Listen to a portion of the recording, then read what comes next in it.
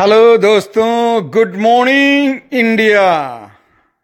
आपका दोस्त और host Rakesh Mishra all the way from Toronto Canada so दोस्तों, सबसे पहले नया साल बहुत बहुत मुबारक हो आप लोगों को।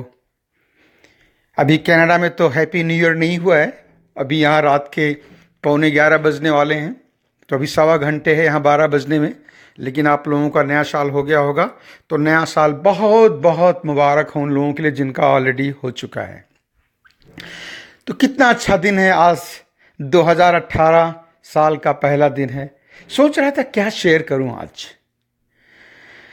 तो सोचा कि दो चीज़ें शेयर करते हैं। एक चीज़ वो मैं शेयर करूँगा आपसे आज कि कुछ, जैसे कि नए साल के रेजोल्यूशन होते हैं, लोग बनाते हैं कि हम ये चीज़ करेंगे। तो yes so first thing I will talk about some challenges कुछ ऐसे चैलेंजेस जो हमारे फैमिली में, हमारे बिज़नेस में या हमारे कैरियर में हेल्प करेंगे। एक चीज़ वो। और दूसरा चीज़ शेयर करेंगे कि कैसे मेंटली फ्री मस्ती के साथ लाइफ जी जाए no matter what is bracket you are in ठीक है? तो चलिए पहली चीज़ शेयर करते हैं आज। वो पहली चीज़ वो है कि, यहाँ पे कि क्या कहते हैं कि या चैलेंजेस तो उसको इंग्लिश में अगर मैं कहना चाहूँगा एक लाइन में सो वो ये होगा कि be great on the thing you hate so be great on something you hate चलिए इसको थोड़ा सा एलिब्रेट करते हैं। ये तो दोस्तों समझ लो कि ज़्यादातर चीज़ें जो आपकी लाइफ को इम्प्रूव करेंगी या बिज़नेस को इम्प्रूव करेंगी, वो थोड़ा सा टफ होती हैं, थोड़ा सा you may not like them वो चाहे कोई अच्छा खाना खाना हो, चाहे वो शराब छोड़नी हो, चाहे वो स्मोकिंग छोड़नी हो, चाहे वो जिम में जाना हो, चाहे वो कोई कोर्स करना हो, चाहे वो किसी बॉस से अपनी यू नो रेज की बात करनी हो या किसी से इवन बात करनी हो, बहुत सारी चीज़ें अनकंफर्टेबल होती हैं, चाहे वो पब्लिक स्पीकिंग हो। कि कहीं पे मीटिंग में बात करना है तो बहुत सारी चीज़ें वो जो हमें ऊपर लेके जाएँगी, वो थोड़ा सा अनकंफर्टेबल होती हैं। तो उसका मतलब ये हुआ कि be great on something you really hate in other world the things which will improve your life are bit difficult and most of time you hate to exercise them ठीक है? तो द पहली एक्सरसाइज पहला challenge मैं आप लोगों को ये देना चाहूँगा, और ये मैंने अपने खुद लाइफ में हर साल करता हूँ, कि वो जो चीज़ टफ है तो आप लिस्ट बना लें उन पाँच चीज़ों की जिनको आपको मालूम है। कि मैं ये अगर चीज़ें एक्सरसाइज करूँगा, इन चीज़ों को फॉलो करूँगा, थोड़ा मुश्किल है। यू माइट हेट देम लेकिन वो आपको इंप्रूव करेंगे, आपकी लाइफ को इंप्रूव करेंगे, आपको जॉब को इंप्रूव करेंगे, आपकी सैलरी बढ़ेगी, आपका प्रमोशन होगा, या कुछ भी इंप्रूव होगा। क्योंकि हम लोग सुनते आए हैं कि you know if you are doing the same thing as you did last year this year also going to the same, nothing is going to change. So with that, what is going to happen? Basically, you are living the same way every year. Nothing is changing.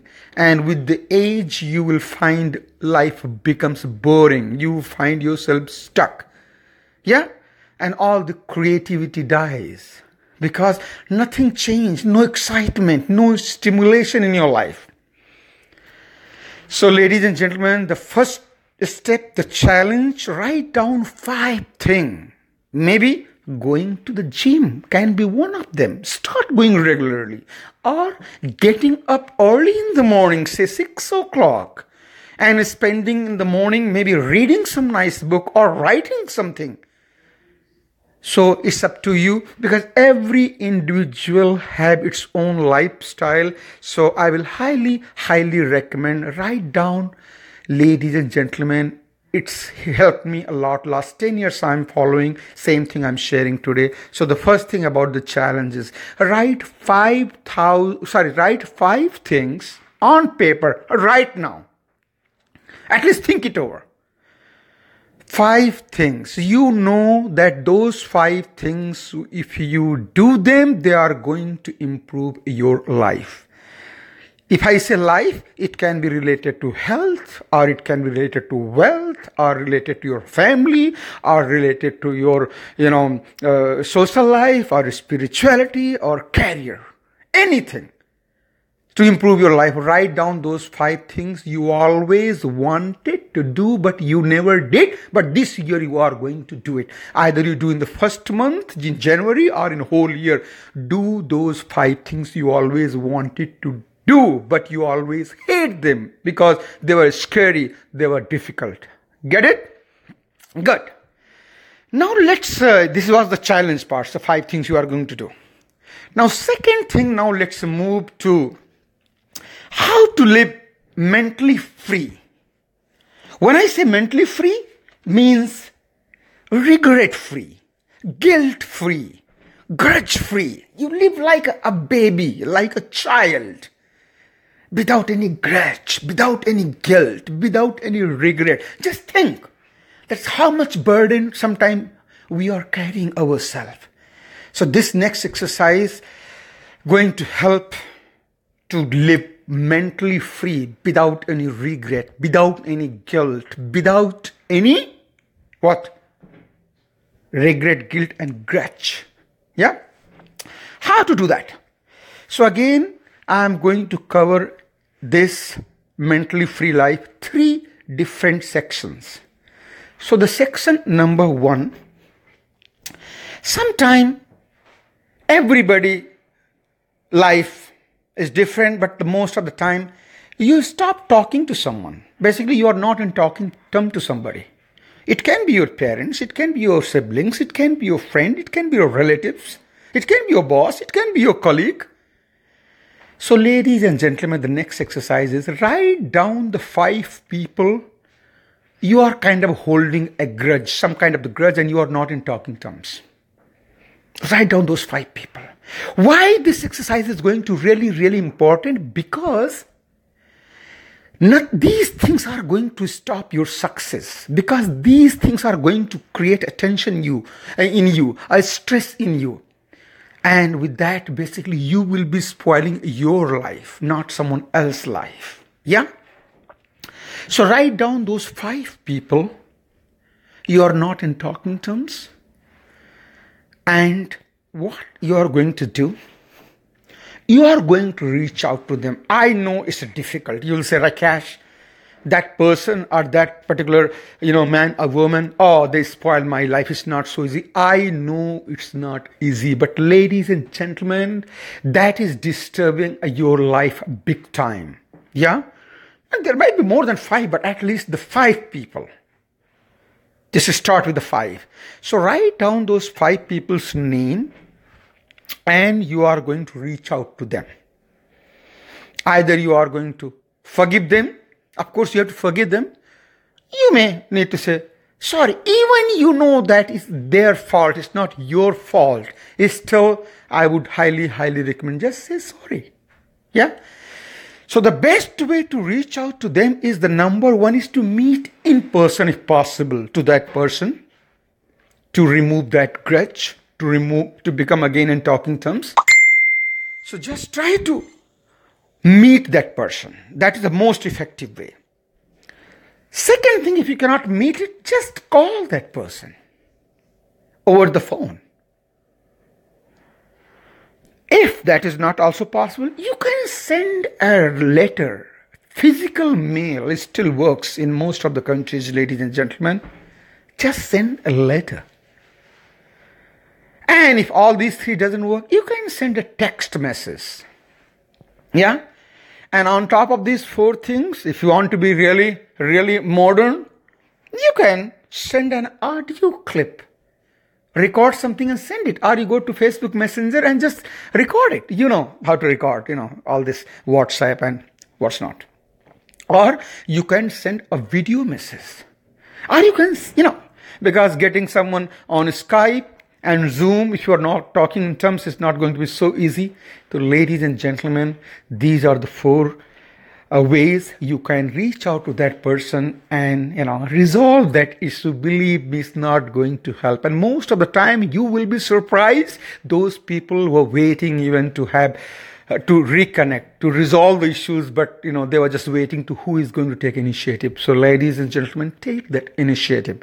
So, write down the five people list with whom you are not in talking terms, and take an initiative and forgive them or say sorry and just reach out to them either by meeting is the most effective in person then call them over the phone or just uh, say, you know send an uh, handwritten letter that is most effective by physical mail or just send a text or you can you know an alternative you can send an audio clipping or a video clipping. Yeah now the next exercise.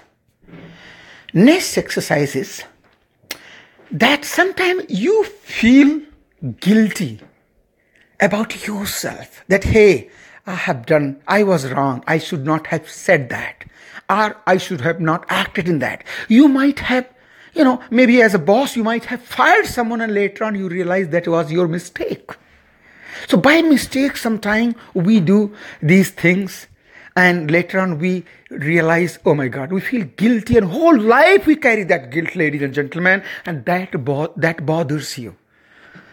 So the second exercise ladies and gentlemen write down five people you feel that you feel guilty about them that you have done something wrong to them and you are not able to forgive yourself ladies and gentleman हम लोग भगवान नहीं हैं, हम लोग इंसान हैं और इंसानों से गलतियाँ हो जाती हैं। तो आप क्या करो कि उन गिल्ड्स के लिए जिन, जिनको आप जानते हो कि आपसे गलती हुई है और अपने आप को आप माफ़ नहीं कर पा रहे हो, ये आपकी वाइफ के साथ हो सकता है। ये आपके बच्चों के साथ हो सकता है माँ बाप के साथ हो सकता है भाई बहनों के साथ हो सकता है, किसी के भी साथ हो सकता है। आपको लगता है कि मैं अपने आप को माफ़ नहीं कर पा रहा हूँ। और हम इंसान हैं आप अपने आप को माफ़ कर सकते हो और माफ़ कर दो। तो वो आदमी का नाम लिखें और वो इश्यू लिखें और उसके बाद चाहे तो उसको आप फाड़ के फेंक दिए जला दें। यू नो जलाना in the kind of you know little and psychological that you know that particular you know uh, uh, guilt is burnt totally gone. Yeah? So these five things five people write down you feel कि आपको पश्चाताप हो रहा है कि उनके साथ आपने ये गलत किया तो उसके लिए आप अपने आप को माफ़ कर दो। कभी कभी बहुत मुश्किल होता है अपने आप को माफ़ करना और कभी कभी वो अपने आप को ना माफ़ करना बहुत बड़ी स्ट्रेस और बहुत बड़ी एंग्जाइटी बन जाती है दोस्तों आपके लिए। या तो last exercise living mentally free is या कभी कभी आपको लगता है कि आपकी ज़िंदगी में, चाहे आपके पारिवारिक जीवन में या आपके व्यवसाय में, या आपकी नौकरी में, बहुत सारे लोग आपको कभी हेल्प किए होंगे। किसी ने आपकी जॉब में हेल्प की होगी, किसी ने आप किसी भी तरीके की। आप पाँच लोगों के नाम लिखें। पाँच से ज़्यादा भी हो सकते हैं, पाँच में इसलिए लिख रहा हूँ कि वो करें कि कम से कम वो जो स्मॉल स्मॉल जो विंस होती हैं तो आपको भी अच्छा लगता है, अरे, हमने कुछ किया। तो आप क्या करें कि पाँच लोगों के नाम लिखें। जिन, जिन्होंने आपको कहीं ना कहीं किसी न किसी बहाने यू नो प्रत्यक्ष या प्रत्यक्ष रूप से डायरेक्टली या इनडायरेक्टली आपकी हेल्प उन लोगों ने की है, लेकिन कभी आपको उनको थैंक यू बोलने का मौका नहीं मिला। या? तो write and simple email write a simple text और if you want, you can follow those four modes which i told you up, you know, in the in the second option. कि उनसे आप मिलें थैंक यू बोलने के लिए, या उनको लंच पे इनवाइट कर सकते हैं डिनर पे इनवाइट कर सकते हैं कॉफ़ी पे, चाय पे इनवाइट कर सकते हैं इन पर्सन और बोलें। और अगर कभी किसी और के सामने बोल सकें तो और भी अच्छा है कि कोई किसी जेंटलमैन ने किया, उसकी वाइफ के सामने, उनके बच्चों के सामने थैंक यू बोल सके, या अपने दोस्त के, दोस्तों के सर्कल में थैंक यू बोल सके तो जब कोई सोशली आप उसको एक्सेप्ट करते हैं, इतनी अच्छी चीज़, किसी को थैंक यू बोलते हो तो उसको और भी अच्छा लगता है। दोस्तों, बहुत इफ़ेक्टिव है। कितना बड़ा दिल होगा आपका और कितना बड़ा दिल उसका हो जाएगा जो सुनेगा आपका, वो थैंक यू या तो पाँच लोगों का आप लिस्ट बनाए जिन्होंने आपको किसी भी तरीके से अगर आपकी कभी हेल्प की हो आपके जीवन में और तो उनको आप हेल्प करें तो आप उनसे मिल के कर सकते हैं, या आप उनको कॉल करके कर सकते हैं, या आप उनको लेटर लिख के कर सकते हैं, या आप उनको टेक्स्ट करके कर सकते हैं, या आप उनको ऑडियो या वीडियो की क्लिपिंग बना के कर सकते हैं दोस्तों। और उस कॉन्टेक्स्ट को एक्सप्लेन करके कि वो छोटी सी जो हेल्प थी, उसका कितना बड़ा इम्पैक्ट पड़ा आपकी लाइफ में। दोस्तों, यही आज आपसे शेयर करना चाह रहा था, इस नए साल में, आज साल का पहला दिन है। अगेन मैं फिर से रैपअप करूँगा। बहुत सारे दोस्त हमारे अभी ज्वाइन किए हैं कि चार चीज़ें आज हमने डिस्कस की।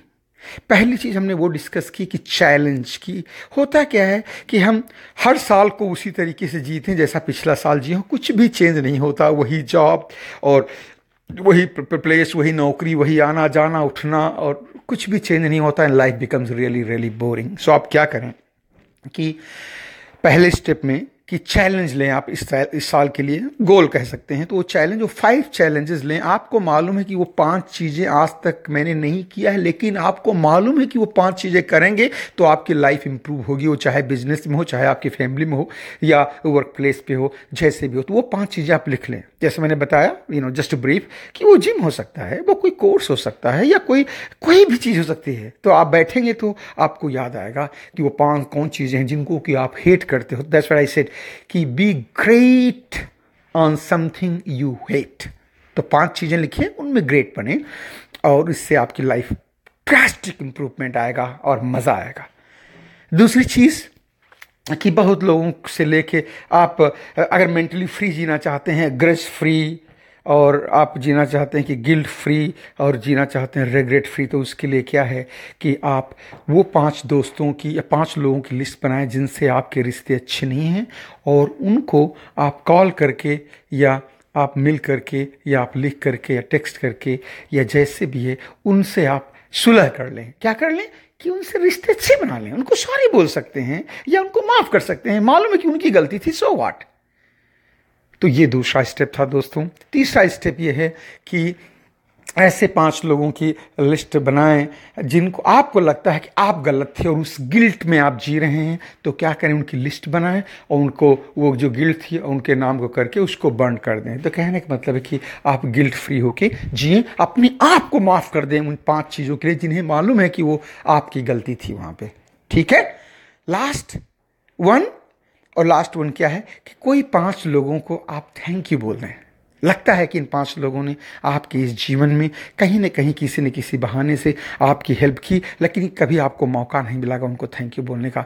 तो थैंक यू उनको बोल सकते हैं। मिल करके लंच पे डिनर पे काफ़ी पे, चाय पे, या फ़ोन करके, या आप लेटर भेज सकते हैं, या आप उनको टेक्स्ट कर सकते हैं, या आप उनको ऑडियो या वीडियो की क्लिपिंग भेज सकते हैं। तो दोस्तों, आज बस यही।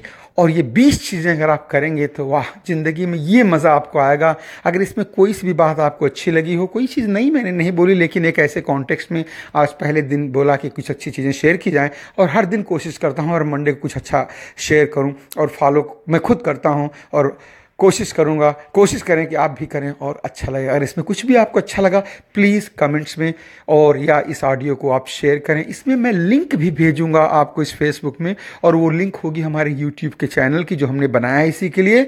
और उस यूट्यूब चैनल में सारे हमारे आर्काइव जितनी पिछली ऑडियो हैं सब उसमें आपको मिलेंगी। और उस यूट्यूब चैनल का नाम है N R I English motivation T V N R I non-resident Indians. So NRI English, like Hindi English. So NRI English Motivation TV आप सर्च कर सकते हैं और वहाँ पे आपको सारे पुराने जो चार या आई थिंक या this is my fifth week so वो सारे ऑलरेडी वहाँ पे मौजूद हैं और इसको भी मैं वहाँ पे डाल दूँगा।